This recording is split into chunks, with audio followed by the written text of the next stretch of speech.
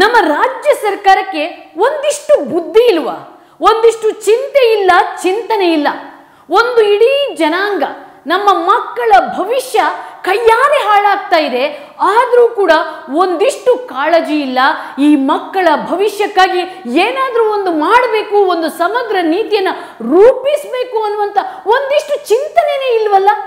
ಈಗ ಆನ್ಲೈನ್ ಶಿಕ್ಷಣವನ್ನು ಜಾರಿಗೆ ತಂದಿದ್ದಾರೆ. ಆದರೆ ಆ ಆನ್ಲೈನ್ ಶಿಕ್ಷಣ ಮಕ್ಕಳಿಗೆ ಸರಿಯಾಗಿ ಆ ಶಿಕ್ಷಣಕ್ಕೆ ಮಕ್ಕಳು ಹೊಂದ್ಕೊಳ್ತಿದ್ದಾರಾ? ಅದು ನಮ್ಮ ಸಮಾಜಕ್ಕೆ ಪೂರಕವಾಗಿದೆಯಾ? ಇದರಿಂದ ಮಕ್ಕಳಿಗೆ ಏನಾದರೂ ಕಿರಿಕಿರಿ ಆಗ್ತಿದೆಯಾ? ಅದು ಏನಾದರೂ ಮಾನಸಿಕ, ದೈಹಿಕ ತೊಂದರೆಗಳಾಗ್ತಿದೆಯಾ? ಇದನ್ನು ಮುಂದುವರಿಸಬೇಕಾ? ಅಥವಾ ಏನಾದರೂ ಹೊಸ ನೀತಿಯನ್ನು ಜಾರಿಗೆ ತರಬೇಕಾ? ಖಾಸಗಿ ಶಾಲೆಗಳ ಮಕ್ಕಳ ಮತ್ತು ಈ ಸರ್ಕಾರಿ ಶಾಲೆಗಳ ಮಕ್ಕಳ ನಡುವೆ ಕಂದಕ ಉಂಟಾಗ್ತಿದೆ. ಶಿಕ್ಷಣ ವ್ಯವಸ್ಥೆ ಅನ್ನುವಂಥದ್ದು ಒಂಥರ ವಿಚಿತ್ರ ರೂಪವನ್ನು ತಾಳ್ತಾ ಇದೆ. ಇದರ ಬಗ್ಗೆ ಯಾವತ್ತಿದ್ರೂ ಕೂಡ ಸರ್ಕಾರ ಯೋಚನೆ ಮಾಡಿದ್ಯಾ? ಪೇರೆಂಟ್ಸ್ ಆದರೂ ಏನಾದರೂ ಇದರ ಬಗ್ಗೆ ಚಿಂತನೆ ಮಾಡಿದ್ದೀರಾ ನೀವತ್ತು? ಯಾವತ್ತಾದರೂ ನಿಮ್ಮ ಮಕ್ಕಳಿಗೆ ಆನ್ಲೈನ್ ಶಿಕ್ಷಣ ಸರಿಯಾಗಿ ಹೊಂದಿದೆಯಾ ಅನ್ನುವಂಥ ಪ್ರಶ್ನೆನ ನಿಮ್ಮ ಮಕ್ಕಳ ಹತ್ರ ಕೇಳಿದ್ದೀರಾ ಕೇಳಲಿಲ್ಲ ಅಂದರೆ ಇವತ್ತು, ಇವತ್ತಿಂದಲೇ ನಾವು ಇದನ್ನು ಪ್ರಾರಂಭಿಸೋಣ. ನಮ್ಮ ಈ ಆನ್ಲೈನ್ ಶಿಕ್ಷಣ ಸರಿಯಾದ ದಾರಿಯಲ್ಲಿ ನಡೀತಾ ಇದೆಯಾ ಅನ್ನುವಂಥ ಪ್ರಶ್ನೆಯನ್ನು ಮುಂದಿಟ್ಕೊಂಡು ಇವತ್ತಿನ ಫೇಸ್ಬುಕ್ ಲೈವನ್ನು ಆರಂಭಿಸ್ತಿದ್ದೀನಿ.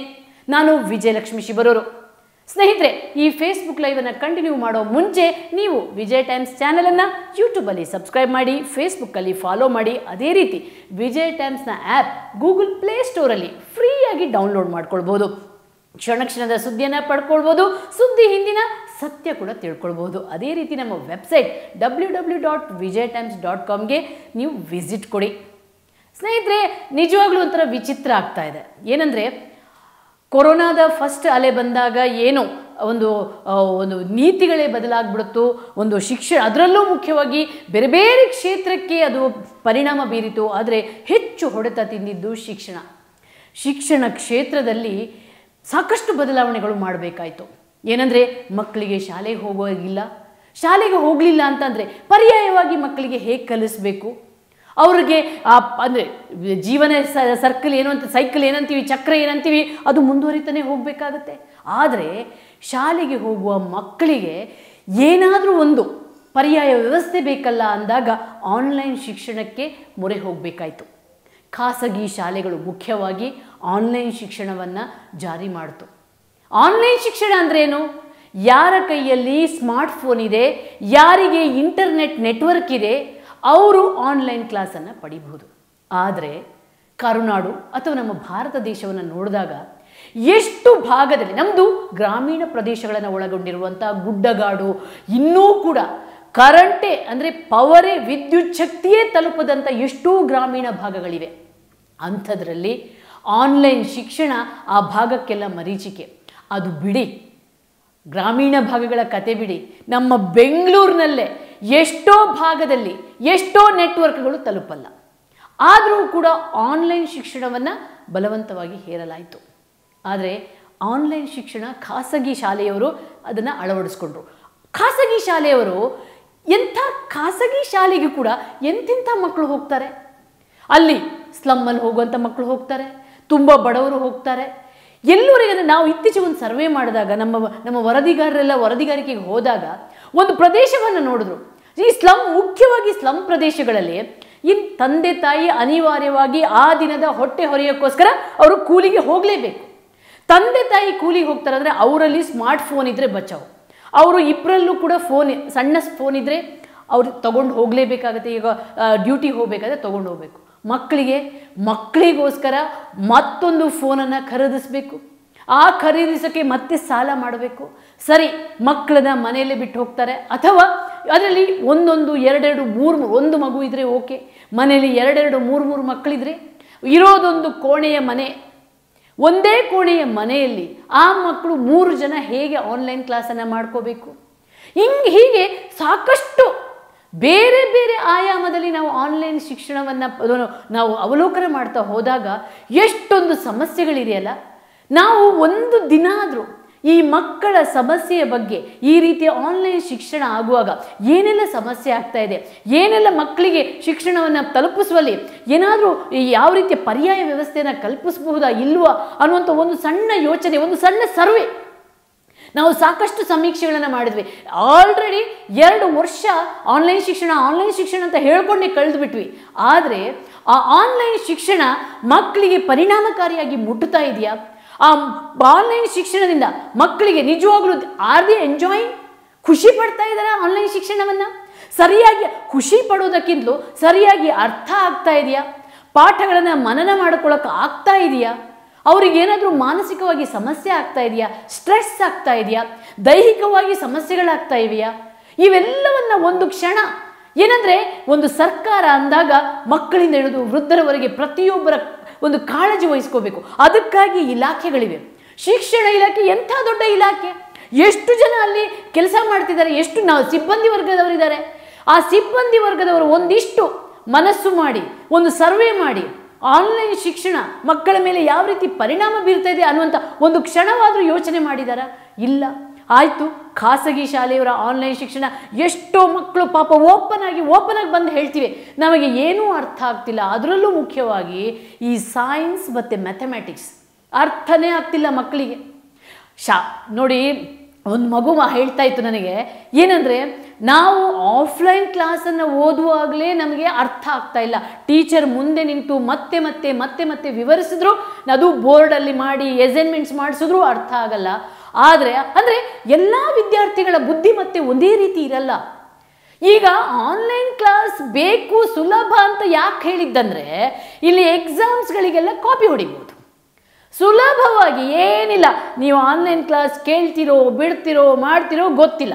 ಆನ್ಲೈನ್ ಎಕ್ಸಾಮ್ ಮಾಡ್ತೀರಾ? ಆನ್ಲೈನ್ ಎಕ್ಸಾಮಲ್ಲಿ ಮಕ್ಕಳು ಕಾಪಿ ಹೊಡಿಯೋಕ್ಕೊಂದು ಈಸಿಯಾಗಿ ಆಗ್ತಾ ಇದೆ. ಅದು ಆದರೂ ಸ್ಟ್ರಿಕ್ಟ್ ಇಲ್ಲ, ಇರೋದಿಲ್ಲ. ಕಾಪಿ ಹೊಡಿತವೆ, ಮಾರ್ಕ್ಸ್ ತೆಗಿತವೆ ಪೇರೆಂಟ್ಸಿಗೇನು ಓ ಔಟ್ ಆಫ್ ಔಟ್ ಬಂದಿದೆ ಔಟ್ ಆಫ್ ಔಟ್ ಬಂದಿದೆ. ಔಟ್ ಆಫ್ ಔಟ್ ಹೇಗೆ ಬಂದಿದೆ? ಕಾಪಿ ಹೊಡೆದು ಔಟ್ ಆಫ್ ಔಟ್ ಬಂದಿದೆಯಾ? ಇದು ಆ ಮಗು ಎಷ್ಟು ಓದಿದೆ ಅನ್ನುವಂಥದ್ದು ಗೊತ್ತಾ? ಮಗುವಿಗೆ ಎಷ್ಟು ಅರ್ಥ ಆಗಿದೆ? ಅಂದರೆ ನಾವು ಒಂದು ಜನ್ರೇಷನನ್ನು ಕತ್ತಲ ಕೂಪದಲ್ಲಿ ಇಟ್ಕೊಂಡಂಗೆ ಕಾಪಿ ಮಾಡೋಕ್ಕೆ ಒಂದನೇ ಕ್ಲಾಸಿಂದ ಕಲಿಸಿದ ಹಾಗೆ, ಒಂದು, ಅಂದರೆ ಎಲ್ ಕೆ ಜಿಯಿಂದಲೇ ಕಾಪಿ ಮಾಡೋಕ್ಕೆ ಕಲಿಸಿದ ಹಾಗೆ, ಇನ್ನೊಂದು, ಆ ಪಾಠ ಅರ್ಥ ಆಗಲಿಲ್ಲ ಅಂದರೂ ನಾನು ನೆಕ್ಸ್ಟ್ ಕ್ಲಾಸಿಗೆ ಪಾಸ್ ಹಾಕ್ಕೊಂಡು ಹೋಗ್ತೀನಿ ಅನ್ನುವಂಥ ಒಂದು ಧೈರ್ಯ ಮಕ್ಕಳಿಗೆ ಬಂದುಬಿಟ್ಟಿದೆ. ಈಗ ಕೇಳಿ ಹೆಚ್ಚು ಎಷ್ಟೋ ಮಕ್ಕಳ ಹತ್ರ ಆನ್ಲೈನ್ ಕ್ಲಾಸ್ ಬೆಸ್ಟಾ ಆಫ್ಲೈನ್ ಕ್ಲಾಸ್ ಬೆಸ್ಟಾ ಕೇಳಿದ್ರೆ ಆನ್ಲೈನ್ ಕ್ಲಾಸೇ ಬೆಸ್ಟ್ ಅಂತಾರೆ. ಏನಂದರೆ, ಓದದೆ ಸೀದಾ ನೆಕ್ಸ್ಟ್ ಕ್ಲಾಸಿಗೆ ಹೋಗ್ಬೋದು ಅನ್ನೋ ಕಾರಣಕ್ಕೋಸ್ಕರ. ಆದರೆ ನಿಜವಾಗ್ಲೂ ಪಾಪ ಈ ಎಂಟನೇ, ಒಂಬತ್ತನೇ ಕ್ಲಾಸಲ್ಲಿ ಇರುವಂಥ ಮಕ್ಕಳಿಗೆ ಫ್ರಸ್ಟ್ರೇಷನ್ ಆಗಿ ಸ್ಟಾರ್ಟ್ ಆಗಿದೆ. ಓದೋಕ್ಕೆ ಅವರಿಗೆ ಏನು, ಓದೋ ಅರ್ಥ ಆಗ್ತಾ ಇಲ್ಲ. ಏನಾದರೂ ಒಂದು ವೇಳೆ ಡೈರೆಕ್ಟ್ ಎಕ್ಸಾಮ್ ಬಂದುಬಿಟ್ರೆ ಆಫ್ಲೈನ್ ಎಕ್ಸಾಮ್ ಬಂದುಬಿಟ್ರೆ ಏನು ಮಾಡೋದು ಅನ್ನೋ ಚಿಂತೆ ಕಾಡ್ತಾ ಇದೆ. ಸೊ ಇಲ್ಲಿ ಒಂದು ಖಾಸಗಿ ಶಾಲೆ, ಆನ್ಲೈನ್ ಶಿಕ್ಷಣದ ಈ ನ್ಯೂನ್ಯತೆಗಳನ್ನು ಯಾವ ಸರ್ಕಾರ ಕೂಡ ಅದನ್ನು ಸರಿಪಡಿಸೋಕ್ಕೆ ಏನಾದರೂ ಪರ್ಯಾಯ ವ್ಯವಸ್ಥೆ ಮಾಡೋಕ್ಕೆ ಚಿಂತನೆ ಮಾಡಿಲ್ಲ. ಸರ್ಕಾರಿ ಶಾಲೆಗಳ ಮಕ್ಕಳ ಪರಿಸ್ಥಿತಿ. ನೀವೇನೋ ಹೇಳ್ತಿದ್ದೀರಾ ಡಿ ಡಿಯಲ್ಲಿ ಚಂದನದಲ್ಲಿ ನಾವು ಒಂದೊಂದು ಗಂಟೆ ಪಾಠ ಕೊಡ್ತಿದ್ದೀವಿ ಅಂತ? ಅಲ್ಲ ರೀ, ಎಲ್ಲರ ಮನೆಯಲ್ಲಿ ಟಿ ವಿ ಇದೆ ಅಂತ ನಿಮ್ಗೆ ಹೆಂಗ್ರಿ ಗೊತ್ತು? ಇವತ್ತಿಗೂ ಬೆಂಗಳೂರಲ್ಲೇ ಪವರ್ ಕಟ್ ಆಗುತ್ತೆ. ಪವರ್ ಕಟ್ ಆದರೆ ಆ ಕ್ಲಾಸನ್ನು ಆ ಮಕ್ಕಳು ಯಾವಾಗ ಕೇಳಬೇಕು? ಹೇಗೆ ಕೇಳಬೇಕು? ಆಯ್ತಪ್ಪ. ಟಿ ವಿ ಕೇಳ್ಕೊ ಟಿ ವಿ ನೋಡಿಕೊಂಡು ಪಾಠ ಓದ್ತಾರೆ ಅನ್ನುವಂಥ, ಅಲ್ಲ, ಸೀರಿಯಲ್ಗಳನ್ನೇ ನಾವು ಕರೆಕ್ಟಾಗಿ ಕಾನ್ಸಂಟ್ರೇಷನ್ ಮಾಡ್ಕೊಂಡು ನೋಡಲ್ಲ. ಇನ್ನು ಪಾಠ ಬಂದರೆ ಅದನ್ನು ಟಿ ವಿಯಲ್ಲಿ ನೋಡ್ಕೊಂಡು ಕಲೀರಿ ಅಂತೀರಲ್ಲ? ಅದು ಸರ್ಕಾರಿ ಶಾಲೆ ಮಕ್ಕಳಿಗೆ. ಅವ್ರ ಮನೇಲಿ ಒಂದು ಟಿ ವಿ ಇರಬೇಕು. ಮನೆಯಲ್ಲಿ ಪೇರೆಂಟ್ಸ್ ಕೂರಿಸ್ಬೇಕು. ಆ ಟೈಮಿಗೆ ಕರೆಂಟ್ ಇರಬೇಕು. ಅವರು ಅರ್ಥ ಮಾಡ್ಕೋಬೇಕು. ಆವಾಗ ಓಕೆ. ಆಯಿತು. ಆಮೇಲೆ ಟೀಚರ್ಸ್ಗಳಿಗೆ ನೀವು ವಿದ್ಯಾಗಮವನ್ನು ನಿಲ್ಲಿಸಿಬಿಟ್ರಿ.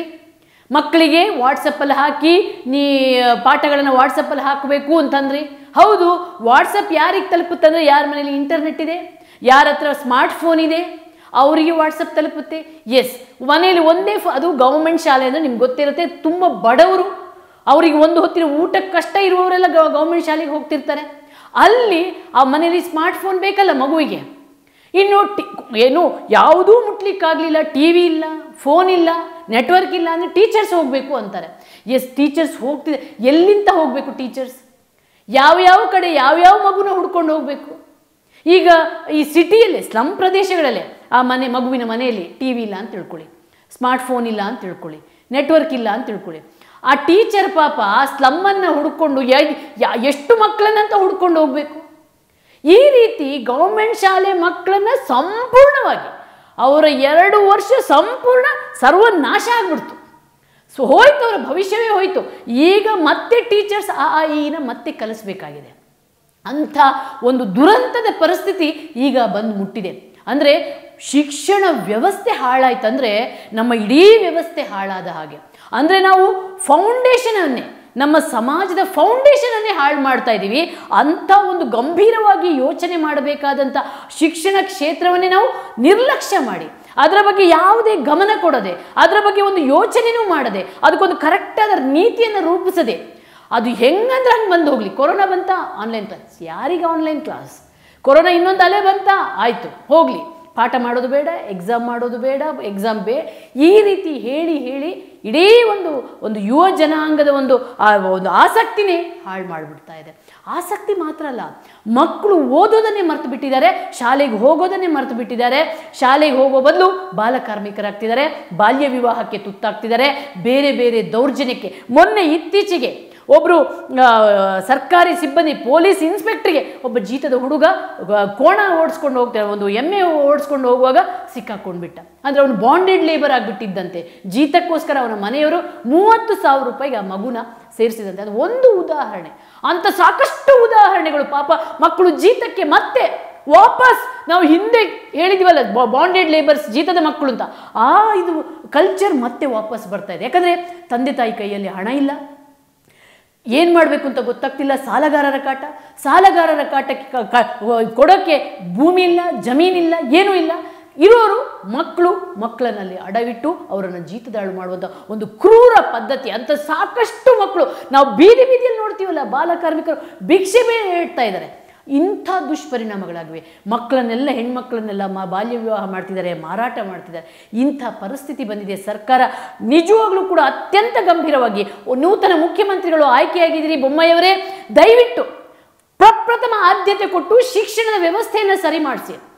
ಒಂದು ಕಡೆ ಖಾಸಗಿ ಶಿಕ್ಷಣ ಅವರ ಫೀಸ್ನ ಟಾರ್ಚರ್ ತಡ್ಕೊಳ್ಳೋಕ್ಕಾಗ್ತಿಲ್ಲ ಕಟ್ಟಕ್ಕಾಗ್ತಿಲ್ಲ ಟಾರ್ಚರಿಂದಾಗಿ ಹಾಗಾಗಿ ಸರ್ಕಾರಿ ಶಾಲೆಗೆ ಕಟ್ಟೋಣ ಅಂತಂದರೆ ಅಲ್ಲಿ ಟಿ ಸಿ ಕೊಡದೆ ಏನೇನೋ ಮಾಡಿ ಟಾರ್ಚರ್ ಮಾಡ್ತಾರೆ. ಸರ್ಕಾರಿ ಶಾಲೆಗೆ ಹೋಗ್ಬಿಟ್ರೆ ಅಲ್ಲಿ ಶಿಕ್ಷಣ ಇಲ್ಲ. ಇಂಥ ಪರಿಸ್ಥಿತಿ ಬಂದಿದೆ.